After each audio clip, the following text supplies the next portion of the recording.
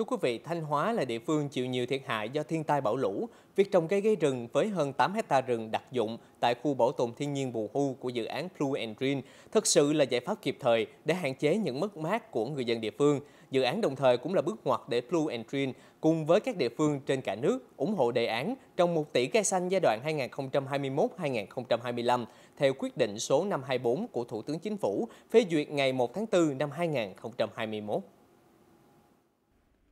Đoàn đã làm việc cùng bà con xã Trung Sơn, huyện Quan Hóa, tỉnh Thanh Hóa để triển khai khởi công và trồng 6.528 cây trắm đen và dổi xanh tại khu vực 8 hecta thuộc rừng đặc dụng khu bảo tồn thiên nhiên Bù Hu nhằm bảo vệ rừng đầu nguồn, chống xói mòn đất, ngăn chặn sạt lở, qua đó bảo vệ người dân trong khu vực. Quy trình thực hiện dự án được triển khai theo 3 giai đoạn, một năm trồng, 3 năm chăm sóc. Sau 4 năm trở thành rừng sẽ giao lại chính quyền quản lý và chăm sóc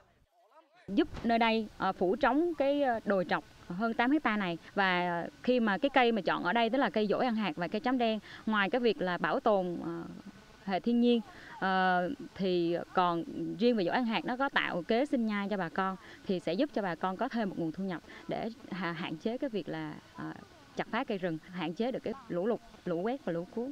Blue and Green là dự án trồng cây gây rừng và đề xuất các giải pháp chống biến đổi khí hậu hướng tới mục tiêu phát triển bền vững của Liên Hiệp Quốc từ câu lạc bộ doanh nhân trẻ thế giới tại Việt Nam JCI Việt Nam. Tính đến thời điểm hiện tại, Blue and Green đã trồng được hơn 50.000 cây trên 15 hecta đa dạng các loại, tùy theo điều kiện và nhu cầu từng vùng miền như cây dương, cây đước, cây mắm, cây trảm đen tại Long Hải, Bà Rịa Vũng Tàu, Cần Giờ, Tiền Giang và Thanh Hóa dự án không chỉ tác động tích cực về các giải pháp chống biến đổi khí hậu mà còn lan tỏa những hành động đẹp đến cộng đồng nhằm nâng cao nhận thức về tầm quan trọng của thiên nhiên. Đồng thời dự án cũng thúc đẩy đa dạng sinh học, phát triển hệ sinh thái rừng phòng hộ, rừng đặc dụng, rừng ngập mặn trên phạm vi cả nước, từ đó hỗ trợ sinh kế cho người dân hiệu quả hơn.